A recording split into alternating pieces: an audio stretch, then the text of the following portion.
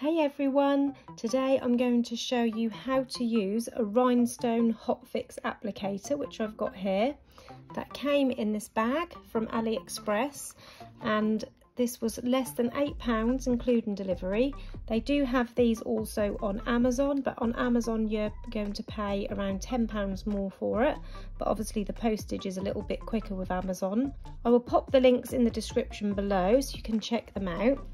And I went for the full set which came in this bag and in the bag you get obviously your rhinestone hotfix applicator you get the little operation instructions here. They are written in Chinese but also in English as well.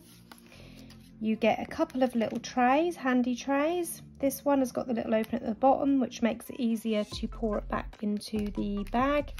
And this triangular shaped one also makes it easy to pour the gems back into the bag.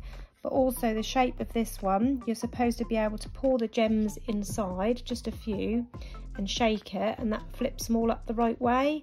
That doesn't do all of them to be fair but that does work on a few of them so that is handy to have as well. You also get some tweezers all of the different heads for the different size rhinestones and this also came with 12 colours of 3mm rhinestones with the hot fix glue on the back.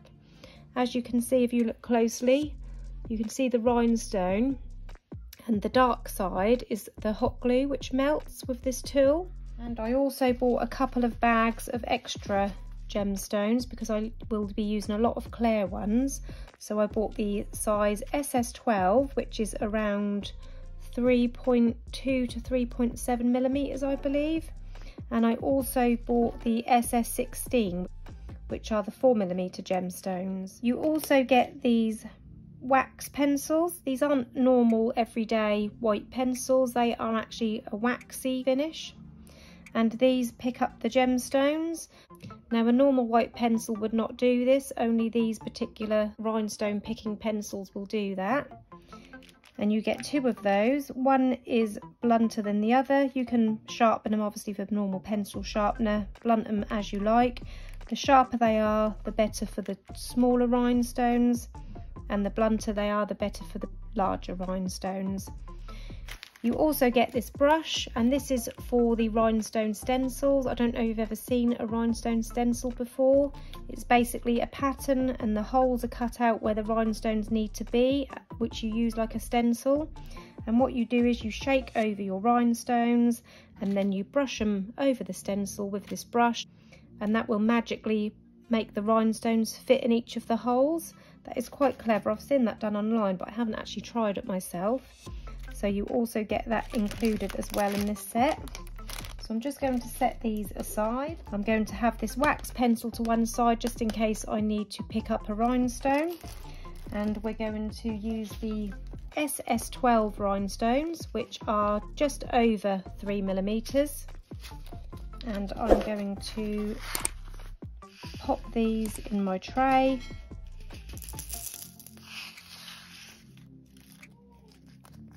Now I've actually popped quite a few in there, so that might not work, but just to show you, as you can see, a lot of these are glue side up.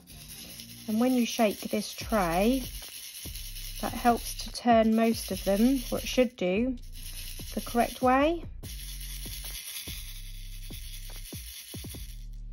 So as you can see, there's now still a few glue side up, but a majority of them are now the correct way, ready to pick up and attach to our bow. We need to pick up our three millimeter tip. It says on here three millimeter or 10 SS. Now these were 12 SS rhinestones, but you don't have a 12 SS tip included. So we're just going to be using the one that says three millimeter or you can just go through your tips if you don't know the code or the actual measurement of the gemstone just pick up your tips and place them over the gem just to see which one best fits. Now as you can see this tip is not picking these gemstones up. Sometimes they will. Sometimes you'll be able to place this over give it a little twist and that will pick them up. But this isn't. But what we're going to do is we're going to attach this to our gun and heat it up and then you can see that we'll then pick them up. Now this part is important. Do not plug in or turn on your Hotfix rhinestone tool until after you've attached your tip because this gets hot very quickly and you don't want to be touching near this tip when that is switched on. So taking your tip with this switched off, you can then screw your chosen tip into the end like that. Make sure it's nice and tight, not terribly tight, but tight enough so that's not going to come off and obviously being from China this did have a Chinese plug on it but I just simply bought a converter plug and plugged it in that way so now it's fine. It works here in the UK so I'm going to now switch this on and as you can see we've got this little light here to show that that is on. And I'm just going to set that on my metal stand. This also came in the bag with it as well this little metal stand here because you don't want to stand on a surface because you may melt your surface. So always use the little stand and be very careful not to touch this end when that is on because like I say that does heat up so quickly and that gets so very hot. Whilst this is heating up I've got some masking tape here. Why have you got masking tape you ask?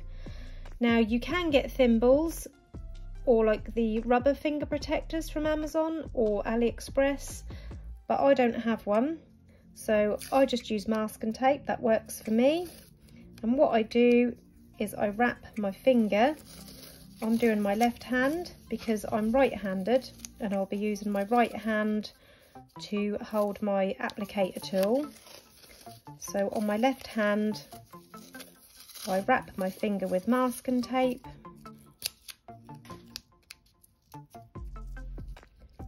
and that will just help protect my finger from getting burnt when I'm applying my gemstones to my bow. So this is the bow I'm going to bling up today. So we're just going to leave this for a couple of minutes more to heat up and then I'll show you how this works. So as you can see, I've started placing some of the gems onto my bow and to pick the gems up, I just simply give the tray a little shake make sure that there's a gem that I want to pick up away from all the others. I don't want too close together because you'll find that another one will stick on the side as well.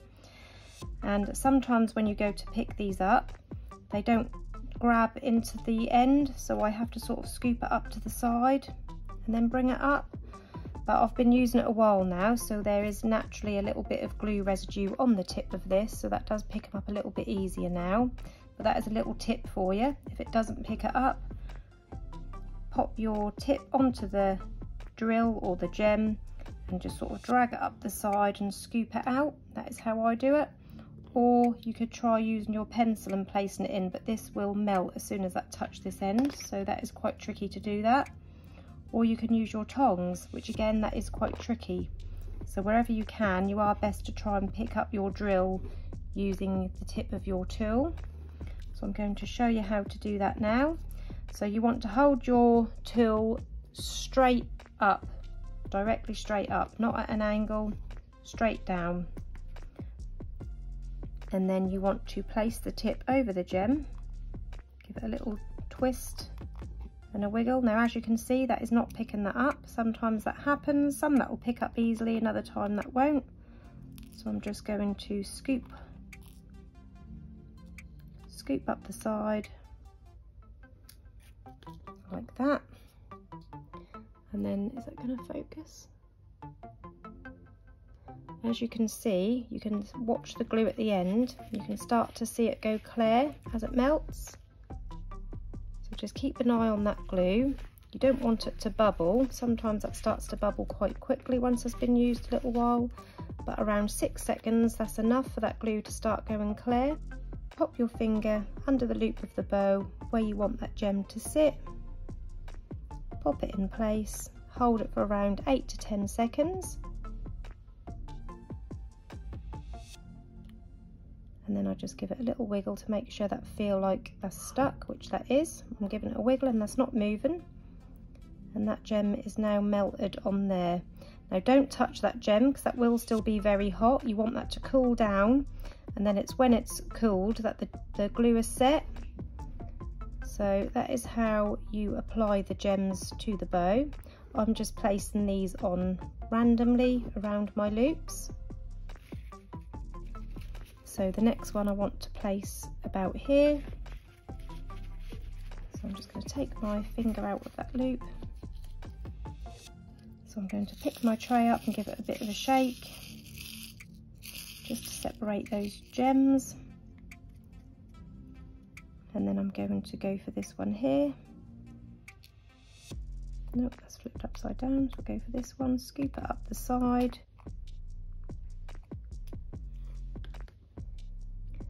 Watch the end of that glue when it starts to go clear.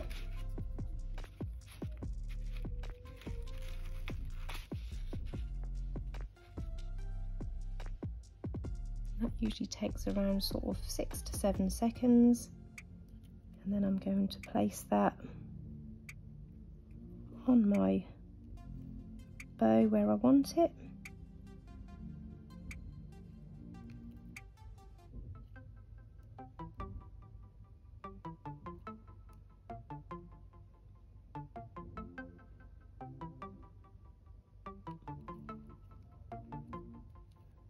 like that. Going to go for one towards the bottom this time.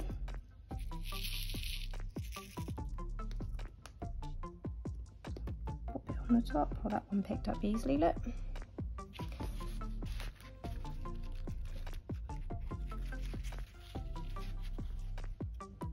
So again, waiting for that glue to start to turn clear place it on my bow, holding that in place.